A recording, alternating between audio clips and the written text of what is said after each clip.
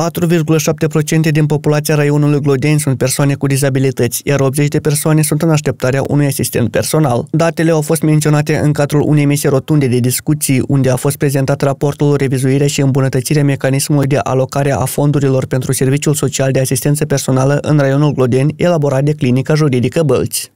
Serviciul Social Asistență Personală în raionul Glodeni a fost înființat la data de 1 ianuarie 2013. La moment este activ, funcțional cu ultima acreditare din 9 august 2023 pe o perioadă de 5 ani. Oxana Cobăleațchi, de aproape 4 ani, este asistent personal pentru fiul ei. Femeia spune că acum câțiva ani nu cunoștea de această opțiune pentru că nu a fost informată de nimeni. În ședință am dezvăluit că a fost uh, serviciu de asistent personal din 2013, uh, dar uh, asta este din ceva timp în urmă.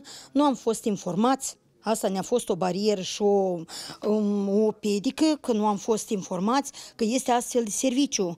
Uh, este un serviciu foarte dezvoltat. Acum uh, aflăm diferite informații, suntem uh, uh, informați mereu. Reglementări rigide privind regimul de muncă și de odihnă a asistenților personali, supra-solicitarea serviciului, accesibilitatea redusă la serviciu sunt doar câteva probleme cu care se confruntă serviciul social din raionul Glodeni. Problema asistenților sociale este problema cea mai solicitată și uh, cel mai des este solicitarea de a beneficia de acest serviciu social. La moment, noi avem încă 80 de persoane care sunt în așteptarea unui loc de asistent personal, dar cifra este relativă, fiindcă multe persoane încă nu cunosc că pot să beneficieze de acest ajutor sau în cazul când se adresează și aud că în fața lor sunt 80 de persoane, pur și simplu se întorc. Un asemenea raport este foarte important, inclusiv și pentru raionul Glodeni, fiindcă prin acest raport se identifică toate problemele majore care sunt în serviciul dat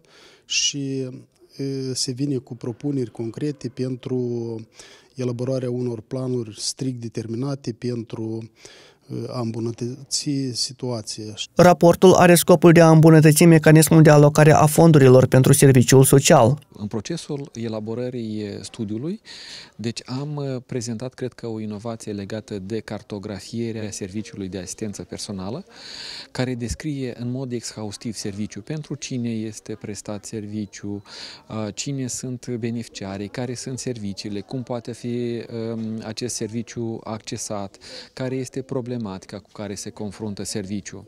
Pe de altă parte, uh, o altă inovație este descrierea uh, exhaustivă a profilului persoanelor cu dizabilități din uh, Raion. Deci dacă la nivel de Republica Moldova există 6,5% din populație sunt persoane cu dizabilități, la nivel de Raionul Glodeni sunt în jur de 2500 de persoane. Acest raport de monitorizare are menirea de a oferi o serie de recomandări pentru autoritățile locale din raionul Glodeni pe dimensiunea eh, serviciului de asistență personală.